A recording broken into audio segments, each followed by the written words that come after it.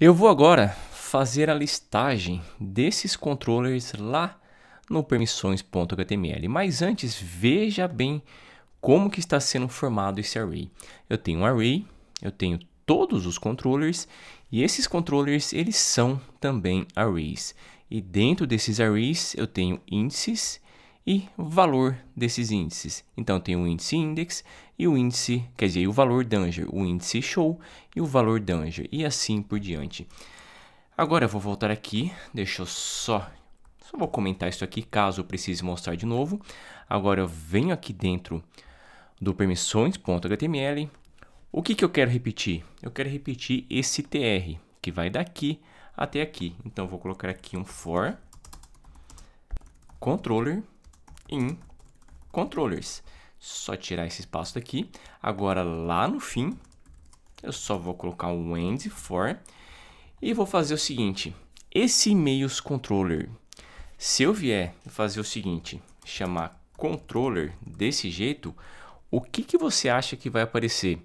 Você acha que vai aparecer já esse valor administrador controller, o password controller, todos esses índices desse primeiro array aqui? Que, que você acha? Vamos lá. Eu vou salvar isso aqui. Eu vou atualizar. Olha o que apareceu. Array to string conversion. Por que, que deu esse erro? Porque quando eu chamo somente o controller desse jeito, é como se eu estivesse dando um eco nesse controller. E esse controller, ele é um array. Esse controller, ele é um array. E agora, se eu vier, por exemplo, colocar index, controller.index, vamos ver o que vai acontecer. Eu vou atualizar. Olha que apareceu. Apareceu danger, danger, danger e success e danger. Tá, apareceu isso daqui, mas o que isso quer dizer? Quer dizer o seguinte. Eu vou voltar aqui voltar com DynZamp, eu vou atualizar. Veja que eu tenho o primeiro array. Esse daqui é o índice do primeiro array. Esse é administrador controller, o password controller, o perfil controller. Todos os controllers são índices desse primeiro array aqui. E dentro desses arrays, eu também tenho índices, o index, o show e o edit. O update, o create, o store e o destroy. Veja que aqui dentro do permissões.html, na hora que eu coloco controller.index, Quer dizer que eu estou chamando esse índice index. Mas e esse controller aqui? Como que eu faço para pegar? Vou fazer o seguinte. Antes aqui do controller, eu vou colocar key underline controller.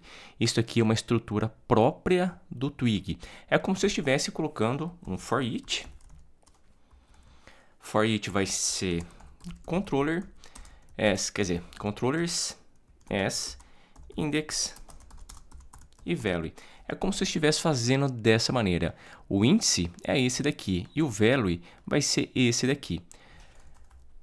Esse key, olha o que eu vou fazer. Eu vou colocar o key aqui.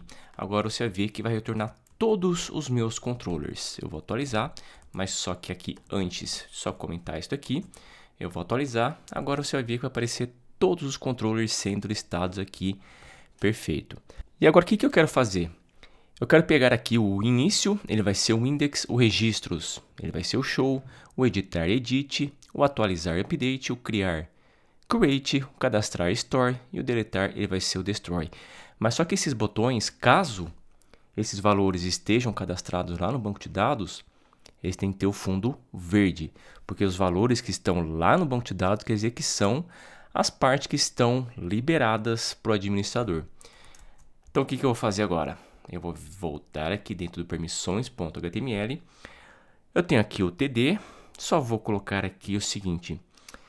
Eu tenho início, tenho registros. Esse button, eu vou colocar um class. Esse class vai ser btn, btn traço. Se eu vier colocar btn success, eu vou atualizar. Veja que apareceu, apareceu o botão azul porque provavelmente eu estou utilizando o Bootstrap 4. E o Bootstrap 4, né, que eu coloco Success, é esse botão azul aqui. E o botão verde, agora realmente eu não me lembro qual que é a cor do botão verde. Mas eu vou deixar esse Success por enquanto e depois eu vejo qual que é o verde do Bootstrap 4. Então tem aqui o Success. Lembra? Aqui no Admin Permissões, no retorno desse controllers, o que, que eu tenho? Eu tenho o show e o index, ambos eles são success, quer dizer que são os métodos que estão cadastrados lá no banco de dados para esse controller e para esse administrador. Então agora aqui, a única coisa que eu vou fazer, eu vou substituir esse success, eu vou colocar controller, porque eu mostrei para você que esse controller agora ele é um array, vai ser o controller.index. E apareceu já aqui o permissões controller, o início, ele está liberado. E vou fazer a mesma coisa para todos, só que alterando. Aqui, por exemplo, ao invés de ser controller index, o que vai ser? Vai ser controller show. E aqui também vai ser o edit. Esse daqui vai ser o update. Esse daqui vai ser o create. E esse daqui vai ser o store. E esse daqui, ele vai ser o Destroy. Destroy, legal. Agora, eu vou atualizar. Vamos ver o que vai acontecer. Todos os botões aqui certinho. E somente esses dois, eles estão azul. Por quê? Porque são, são somente esses dois que estão liberados. Agora, lá no banco de dados, eu vou colocar também, eu vou colocar aqui o é, edit. Eu vou colocar o edit, o edit vai ser para o permissões, controller e também vai ser para o administrador com o índice 2. Eu vou voltar, eu vou atualizar e aqui o editar, ele ficou azul. Eu vou pegar outro, vai ser o password controller. Eu venho aqui, coloco o password controller, o password controller vai ser somente o destroy, que vai estar liberado para esse administrador, para o administrador com o índice 2. Vamos ver, atualizar. Tá lá, somente o deletar que ele está liberado. Então tá funcionando aqui certinho a liberação das cores, combinando a, as cores com os métodos liberados lá no banco de dados. Agora eu vou colocar aqui uma classe para cada um desses botões. Por que, que eu vou fazer isso? Porque eu vou colocar um evento para cada um desses botões. Eu vou atrelar a essa classe btn permission eu vou atrelar um evento para ele.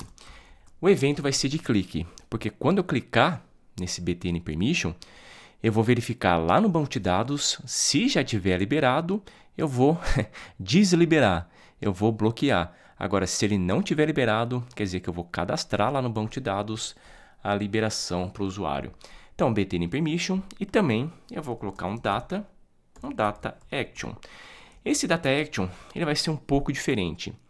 Um pouco diferente porque geralmente você coloca dentro dessa tag data, data alguma coisa, você coloca somente um valor. Por exemplo, na maioria das vezes você colocaria, sei lá, colocaria somente o key.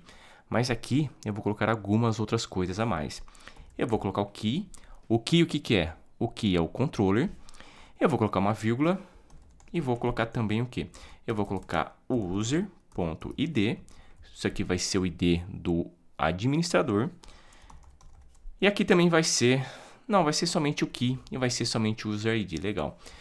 Agora eu vou pegar, eu vou copiar isso daqui, Ctrl V, então, Ctrl V nesse daqui, Ctrl V nesse daqui, Ctrl V nesse e Ctrl V nesse daqui e nesse daqui. Mas só que eu ainda eu tenho que colocar mais um valor para dentro desse data action.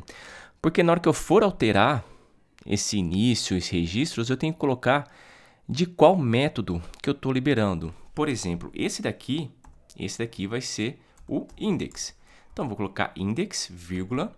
Esse daqui vai ser qual? Esse daqui vai ser o show, show, vírgula. Esse vai ser o edit, vírgula. Opa, edit, vírgula. Esse daqui vai ser o update. E esse daqui vai ser o create. O de baixo vai ser o destroy. Destroy não, vai ser o store e o outro vai ser o destroy. Porque na hora que eu clicar nesse botão, pegar aqui o evento através desse btn permission, eu vou pegar esse data action e dentro desse data action eu já vou ter tudo o que eu preciso. Eu já vou ter o método que eu quero liberar ou bloquear, o controller que eu quero liberar ou bloquear e o administrador que eu também vou bloquear ou liberar. Então vai ter tudo aqui dentro desse data action. Então essa aula está ficando por aqui. Valeu, um abração e até mais.